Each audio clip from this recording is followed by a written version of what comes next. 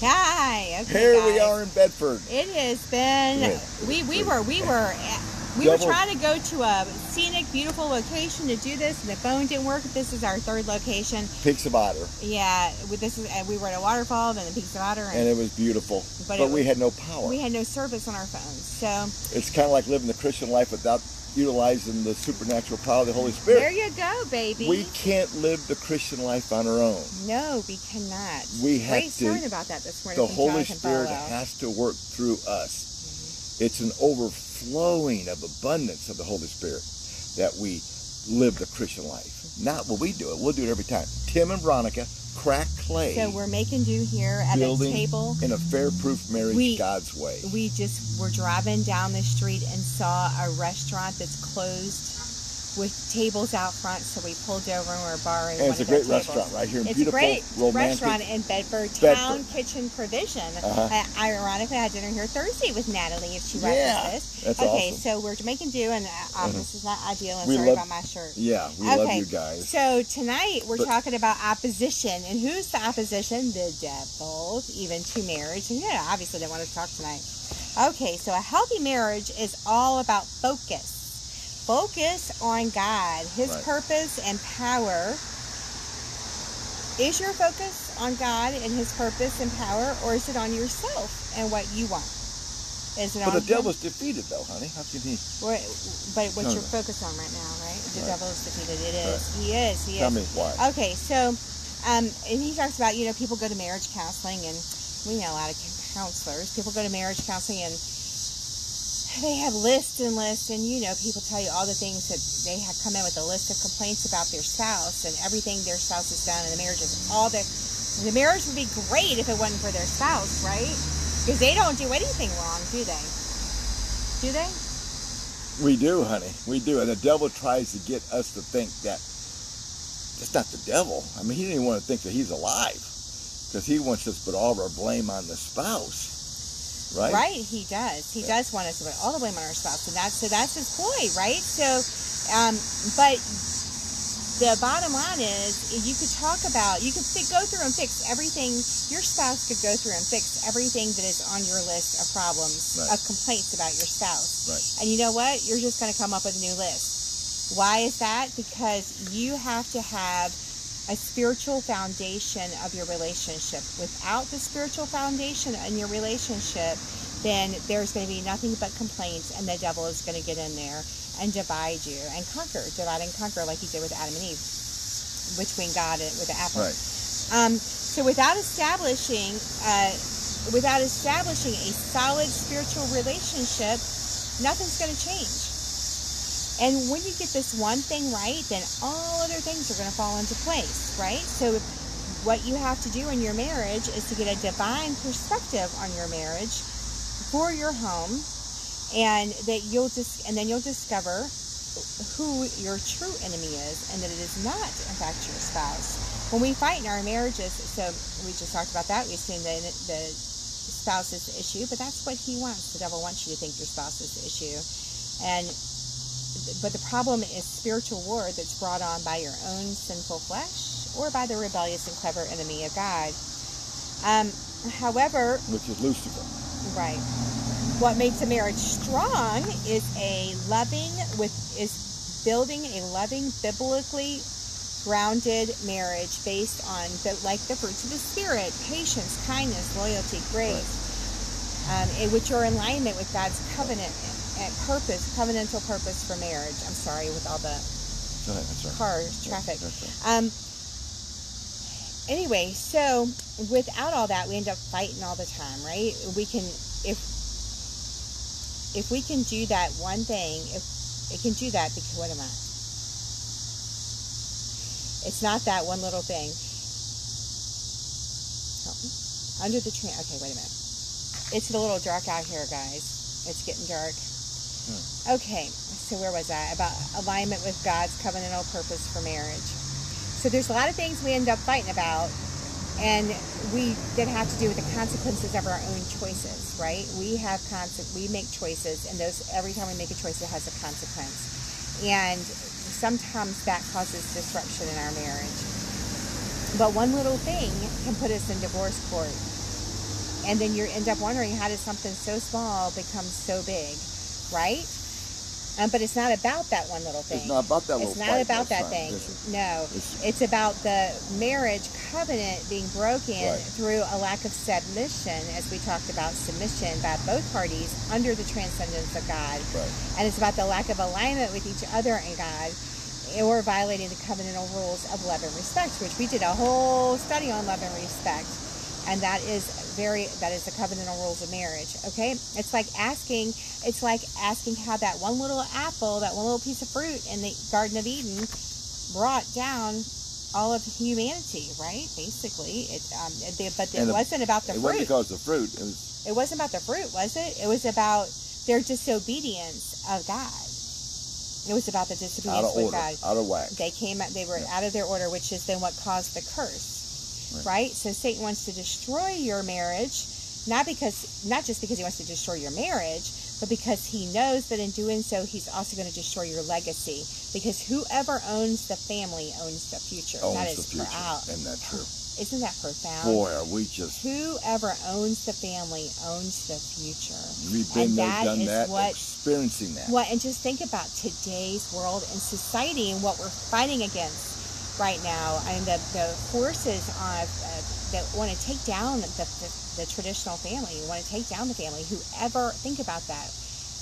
Whoever owns the family owns, Owns the, the future. future. That is so important.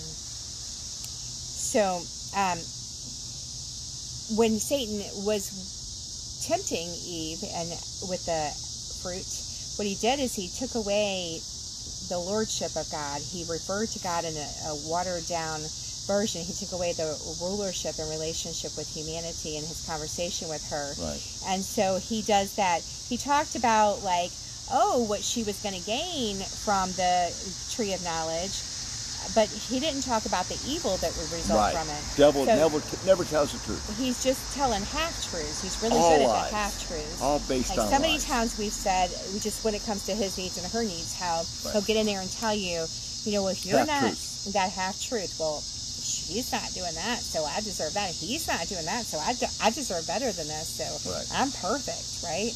I'm not. Well, none of The us are perfect, right? Devil but that's is what he devil tells is you. smart. He's not going to tell you in the middle of Friday afternoon, let's go rob a bank. He's going to do it little bit at a time, little bit at a time, little bit at a time.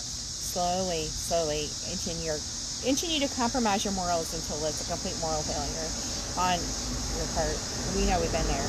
Um, so decisions made apart from God's wisdom notoriously wind up causing more harm than good, as we saw in the Garden of Eden Right. right? And so, what happens in our homes is we allow him to stoke the fires of discontent and contempt in our homes. He distorts the image of God through us as married couples and keeps us from accomplishing our own dominion purposes. Right. The purpose God has for us that we talked about in the first chapter. That's why you have to commit your marriage. You have to commit your marriage to prayer and cultivate a real relationship in humility while seeking God's wisdom and guidance and asking for His love, grace, and mercy in Right. all things. Right? So, how it's important that you, instead of fighting each other, that you know who your real enemy Know who is the enemy is. That's the evil one. Mm, you know who your real enemy is. It says in Ephesians for one str- Ephesians That's six twelve, for our struggle is not against flesh and blood, but against the rulers, against the powers, against the world focuses forces, or against the world forces of the darkness, against the spiritual forces of wickedness in the heavenly places. That's Ephesians six twelve. And so our battle is not with Our our, spouse. It's the not with our spouse. Sometimes what happens is he uses our spouse, right? He uses our spouse to bring us down, to make us feel defeated. So the whole universe is divided into two kingdoms. Two ways: Two darkness and light. Right. Darkness There's no middle ground. Nope. Either you're going towards Him and living for Jesus, or you're going away from Him. Mhm. There's no middle ground. Right. So even though he's already been defeated with the cross, Right. he wants to take as many people with him as he can.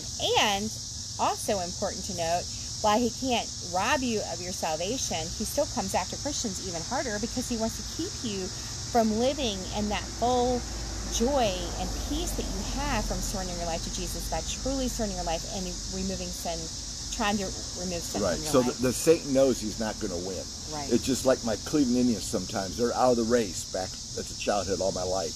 But they got satisfaction out of beating someone, maybe the New York Yankees, to keep them from getting in the playoffs. That's how the devil does. He knows he's going to lose. As Christians, we're on the winning team. But the devil, he, as long as he can keep you from going to heaven, then he loves that because he knows he, you're going to go with him. That's what he wants.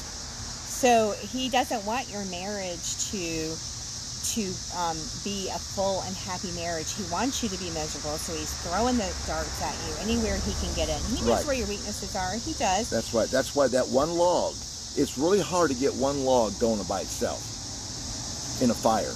But if you get two or three logs together, boy, they kind of kindle each other and get her close and getting that fire going. Before you know, you have a fire going. So the devil knows that us strength, we have strength with each other as fellow soldiers. You never go to war alone. You have fellow soldiers to be there with each other. Right. So one of, and then this is really I like that he addressed this in this chapter of opposition. And remember, we're doing kingdom marriage, Yeah. Tony Evans. Um, one of the reasons God allows hell on earth, because people are always asking, why does God allow bad things Right. to happen?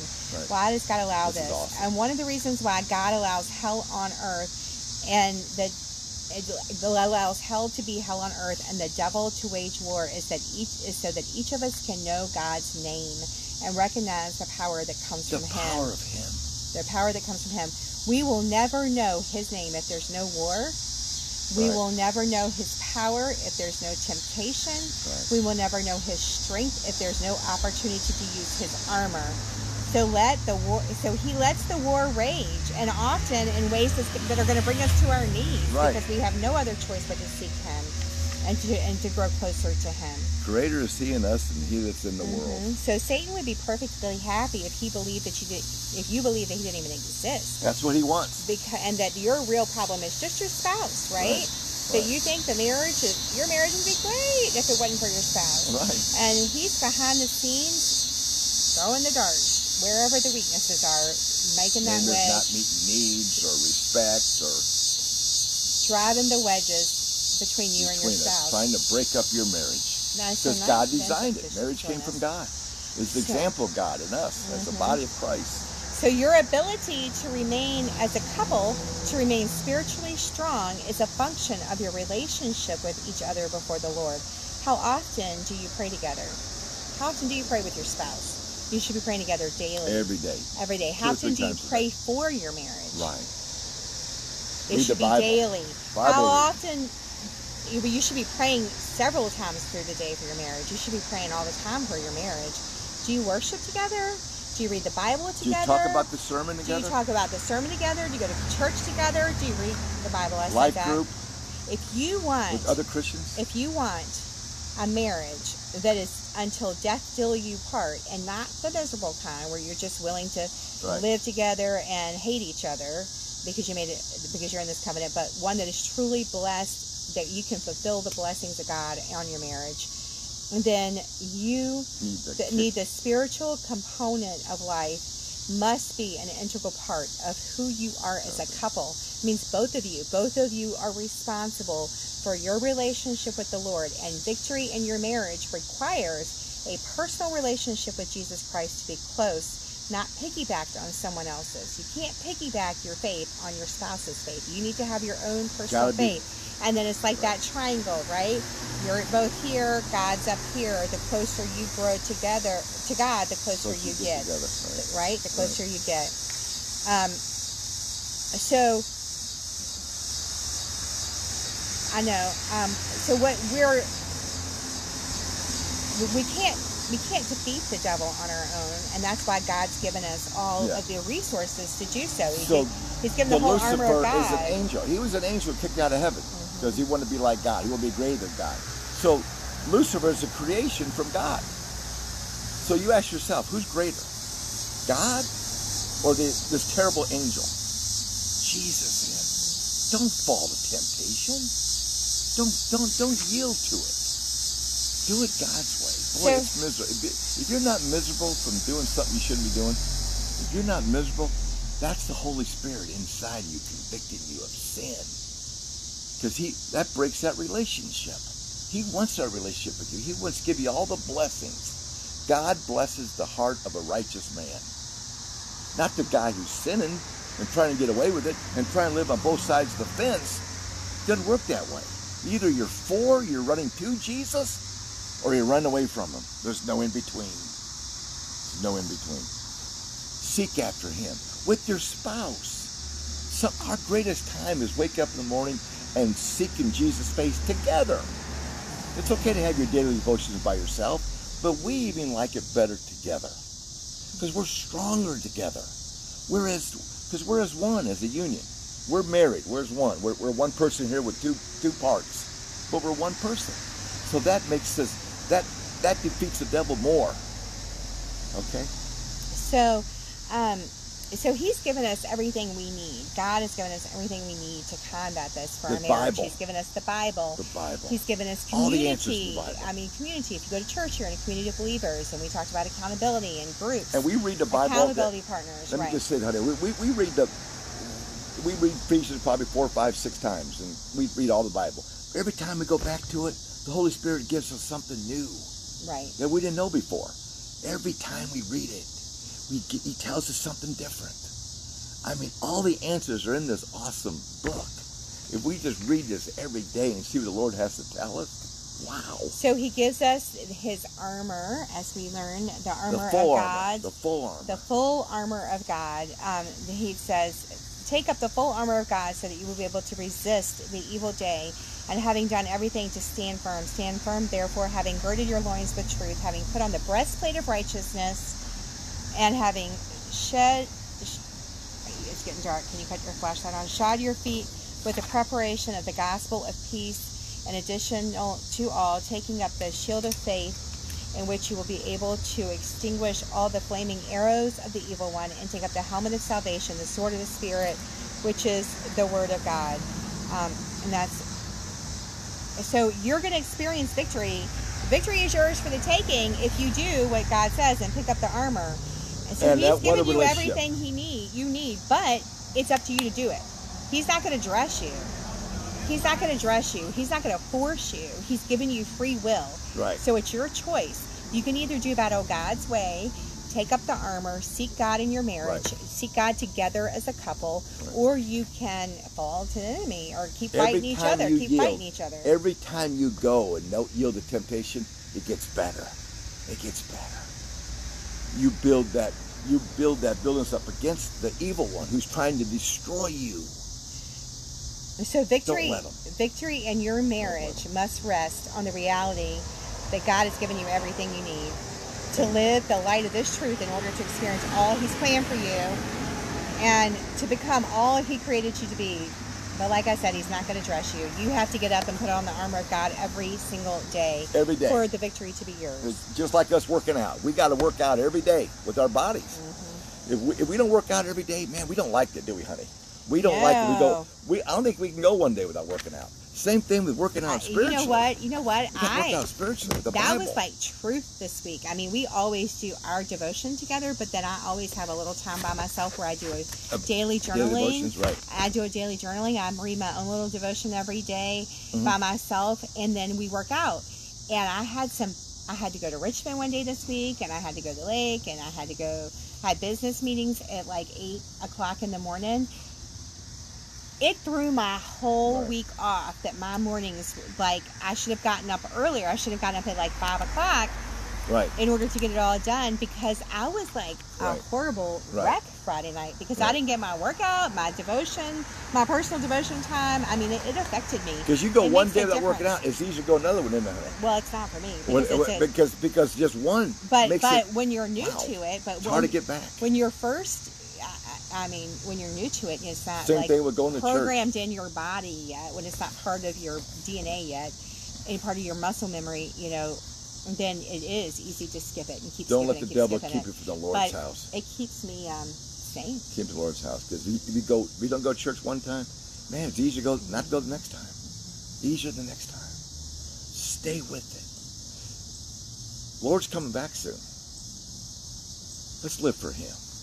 The sh- the world know is what? look, the And- world's and- looking at us. They're watching what we're doing. And even if you like made Let's show that, Jesus. if even if you made that profession of faith and you're a Christian, but you're living in misery, there is still only you can only get healing At the through cross. Him, At through the cross. cross, At at the the cross. cross. And so, just pick up your Bible, read your Bible, Come back to Jesus. pray, pray, read your Bible, seek the Lord. And prayer is just a conversation with Him. You just talk to Him like He's Pray without ceasing. He's all day long we talk to him. right. Jesus help me. Jesus help me. There are many times. Jesus, I can't. Jesus, I don't have strength against this temptation. Holy Spirit, help me. We ask Him, He'll help us because we can't do it on our own. But with Him inside of us, we can. there are many times I'm having like a bad day. I just and I'm like, okay, here. I just go get by myself somewhere and say a quick prayer. I just pray. We can't live the supernatural, supernatural Christian life on our own. Mm. We can't. Only it says in Galatians, He works the supernatural power through us. He does. Jesus does. It's the Holy Spirit. us. We We can't, can't do it. on do it. We can't do it on our own. Okay, we love you guys. We love you guys. Let us know Sorry, we, need the devil tried to stop us from doing it tonight, but we're not going to let him. We're going, we're going to defeat him, we're going to and persevere. we're we proclaim persevere. There the may be truth. have been some traffic and it may be getting dark. Just like this marriage. You know, Right. because we love each other. Right. Okay, let us know if you have any um, prayer request, and uh, He tries to get in our marriage. We're not going to let him defeat him. Do it God's way.